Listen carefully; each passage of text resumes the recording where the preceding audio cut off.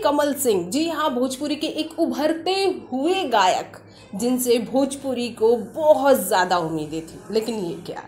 इन्होंने तो वो किया जिसकी उम्मीद किसी को नहीं थी। अपनी सस्ती लोकप्रियता को इस तरह भुनाएँगे नीलकमल, ये तो सोचा ही नहीं गया था। नीलकमल को ये सोचना चाहिए था कि आजकल वो एक छोटे कलाकार नहीं रह गए हैं। 200-300 मिलियन क्रॉस कर जाते हैं उनके गाने। लेकिन नीलकमल ने इतनी औछी हरकत की जिसकी किसी को उम्मीद नहीं थी। अक्षरा सिंह के ऊपर उन्होंने इस तरह से भद्दा गाना गाया, वो कोई नहीं सोच सकता।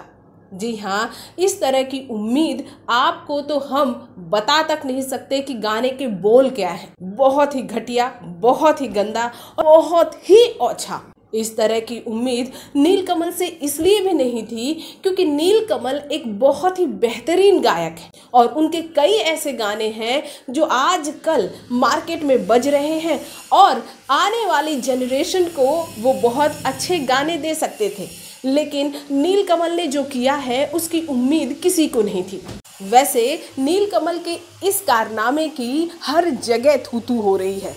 वो होनी भी चाहिए, वो होनी भी चाहिए, क्योंकि नीलकमल जैसे एक्टरों को सोचना चाहिए, गायकों को सोचना चाहिए कि वो इस तरह की औछी हरकत किसी के साथ, किसी भी औरत के साथ नहीं कर सकते। क्या वो अपनी माँ, बहन, बेटी या फिर रिश्तेदार की किसी भी औरत के लिए ऐसा वर्ड यूज़ कर सकते हैं, जो उन्होंने अक्षरा सिंह के लिए किया? अक्षरा और पवन की दुश्मनी एक अलग वे की है। उसे अपनी लोकप्रियता के लिए भुनाना सही बात नहीं है। अक्षरा क्या कर रही हैं, क्या नहीं कर रही हैं, ये सभी जानते हैं। वैसे बाय द वे हम आपको बता दें नीलकमल, कि आपको कोई हक अधिकार नहीं पहुँचता कि आप अक्षरा सिंह जैसी बेहतरीन अभिनेत्री, बेहतरीन डांसर को इस तरह के कमेंट करें या फिर इस तरह के गाने गाएँ। अभी उन तक पहुँचने के लिए आपको अच्छी खासी सीढ़ियाँ चढ़नी पड़ेंगी। आप क्या सोचते हैं इस बारे में? और क्या नीलकमल को अक्षरा सिंह से लाइव आकर माफ़ी मांगनी चाहिए? भोजपुरी जगत की हॉट और मसालेदार गॉसिप के लिए हमें सब्सक्राइब करना बिल्कुल ना भूलिए।